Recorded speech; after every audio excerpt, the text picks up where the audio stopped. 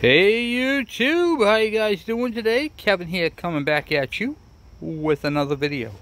So I'm going to do a short video, or semi-short, yeah, just short, um, video, and I want to explain some stuff to you guys. So anyway, um, as you guys know, this is a 92 with a 2004 or 2005 um, body kit, you know, the tank and all that, and the fenders and side cover. And, uh, yeah, well, hold on. There we go. Get you guys into the stand and uh, get talking with you. So, anyway. So, anyway, I won this bike back to 1996 to 2001. Those are the um, the bikes that I'm talking about now. This video right here is actually going to be just tagged um, for Kawasaki KE100s um, because you guys are the ones who are uh, using this particular setup. So this video is for those who have a 1996 to 2001 Kawasaki KE100 with CDI ignition. Okay?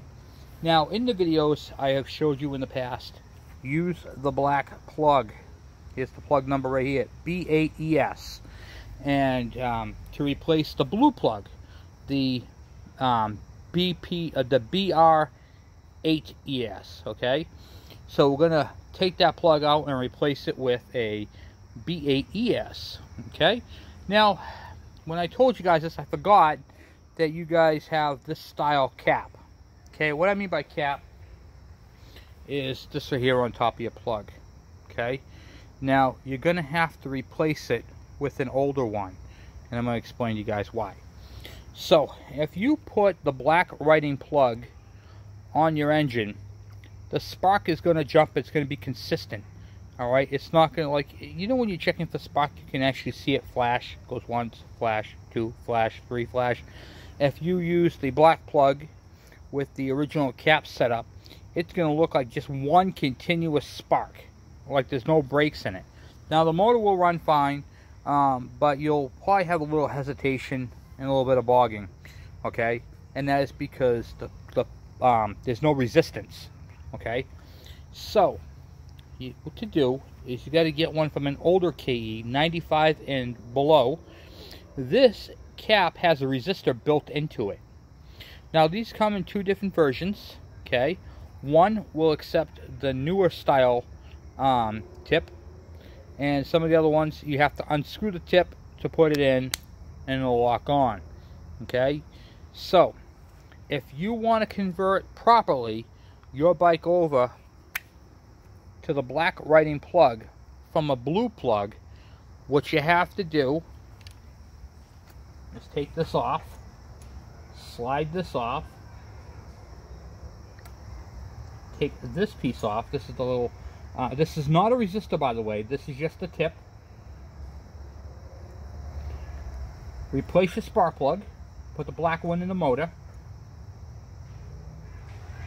slip this on and then screw it into place until you can't screw it no more.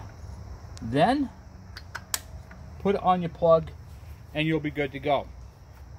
Because that tip has a resistor built into it. So, and it'll allow you to run properly the black writing plug. Sometimes I forget things like this, I apologize. But nevertheless, I got a lot of good questions. A lot of people texted me, asking me questions about their bikes. Um, I have the other style of this I'm going to be using, so I'm not going to put either one of these back on. I did this just for the video, and there is a blue plug in here because that's what I was using for the video, so I can keep this one out. This one I have to put back in. I'll do that later on. So I'll leave that stuff over. Um, so anyway, I've been getting some really, really great questions. And you guys have been absolutely amazing asking them. So that's what it is. So the blue plug is coming out.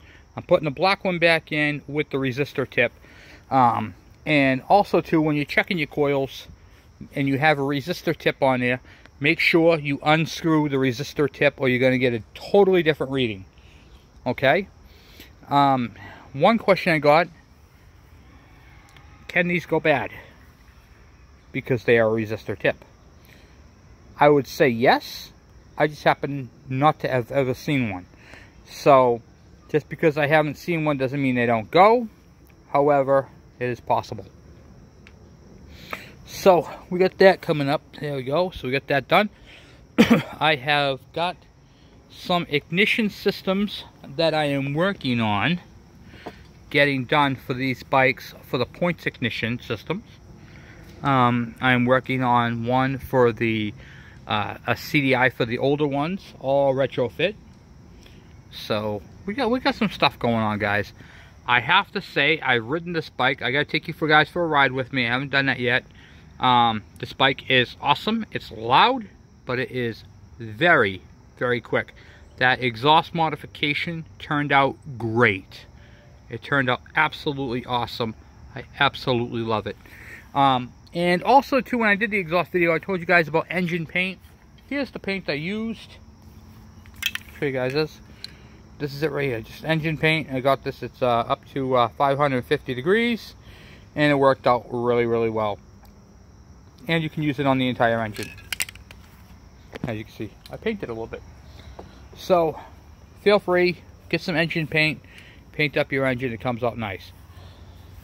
I did not use gloss, I used satin uh, satin black, little faded, you know, this is the KM exhaust, I hit that real quick. So, just wanted to uh, share this little video with you guys, say thank you for all your subscriptions and all your help with everything, you know, the subscriptions, the uh, comments, those are big helps, guys. I really appreciate them. So I just wanted to put this out there so you guys would know what you have to do on the 96 to 2001 to convert your coil over to a black plug. If you have a 95 and earlier and you're using a blue plug, that is the wrong plug for your bike. Take it out, put a black one in there. And remember, if you have this style right here, this takes a black lettered plug. So if you look on the plug, black lettering, okay? If you have this style cap, you need a resistor plug. Those are your only two options. See, you can see right on my bike here. See, even my Yamaha Virago. Same thing, black lettered plug. Okay. So, keep that in mind. That's what you got to do. Anyway, guys, I'm off. I just wanted to do a quick video explain to you guys why you need to do that conversion and uh, hopefully that helps you guys out. Anyway guys I'll be talking to you guys later. Have a good night. Thanks. Bye